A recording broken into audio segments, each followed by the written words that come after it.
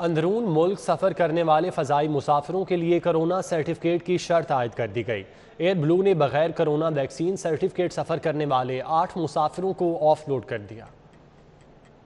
N C ओ सी की हिदायत की रोशनी में अंदरून मुल्क सफ़र करने वाले मुसाफरों से कोरोना वैक्सीन सर्टिफिकेट की चेकिंग की शर्त पर अमल दरामद शुरू हो गया है। एयर ब्लू इंतजामिया ने बगैर कोरोना वैक्सीन सर्टिफिकेट लाहौर से कराची जाने वाले आठ मुसाफिरों को ऑफ़ लोड कर दिया। मुसाफिर एयर ब्लू की प्रवाज पी ए चार सौ एक से लाहौर से कराची जा रहे थे। एयरलाइन इंतजामिया के मुताबिक एन सी ओ सी की हिदायत की रोशनी में कोरोना वैक्सीन सर्टिफिकेट के हामिल मुसाफिर ही फिजाई सफ़र कर सकते हैं। दूसरी तरफ़ सिविल एविएशन ने कोरोना सर्टिफिकेट चेक करने की ज़िम्मेदारी एयरलाइन इंतजामिया पर डाल दी है, जबकि एयरलाइन इंतजामिया का कहना है कि एनसीओसी की हिदायत की रोशनी में कोरोना सर्टिफिकेट की चेकिंग की ज़िम्मेदारी महकमा हेल्थ और एयरपोर्ट हुकाम की है।